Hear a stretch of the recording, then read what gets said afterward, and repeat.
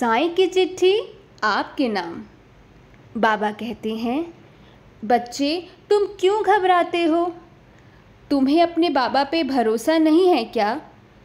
मैंने देखा, तुम मुझे देखकर रो रहे थे कि बाबा, मुझे तुम्हारे साथ की ज़रूरत है।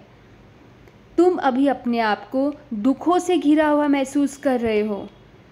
पर बेटा, मैं तो हमेशा हर जगह तुम्हारे साथ ही हूँ। मैं अपने बच्चों को कैसे अकेला छोड़ के जा सकता हूँ? तुम्हारा और मेरा रिश्ता तो जन्मों जन्मों का है। पर जो तुम्हें अभी थोड़ा बहुत दुख हो रहा है ना, वो भी जल्द ख़त्म हो जाएगा। बस कुछ वक्त और। फिर वो सब होगा जो जो तुमने अपने दिल से प्रार्थनाओं में मांगा है। फिर तो तुम ये कहोगे कि बाबा, ये तो मेरी इच्छाओं से भी ज़्यादा है। तुम्हारी ज़िंदगी में खुशियाँ ही खुशियाँ आने वाली है। बस तुम ऐसे ही सच्चे और अच्छे मार्ग पर चलते रहो। किसी का दिल मत दुखाना। हमेशा दुखियारों की मदद करते रहना। तुम्हारा सच्चा प्यार और बड़ा दिल जो है ना, जो सबको प्यार करता है जो हर जीव, हर जंतु, हर जानवर को वही तुम्हें, तुम्हारे सारे दुखों से मुक्त करेगा।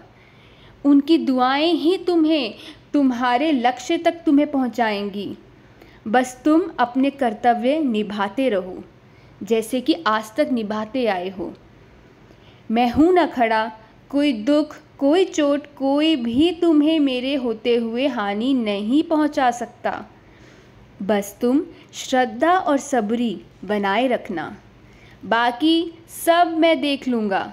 बाकी सब तुम मुझ पर छोड़ दो। तुम्हारा बाबा सब संभाल लेगा। चलो अब उठो और अपनी दिनचर्या खुशी खुशी मन से शुरू करो। मुझे अपने बच्चों की आँखों में आँसू बिल्कुल अच्छे नहीं लगते। और हमेशा याद रखना, सब अच्छा है और सब अच्छा ही होगा। ओम साई राम।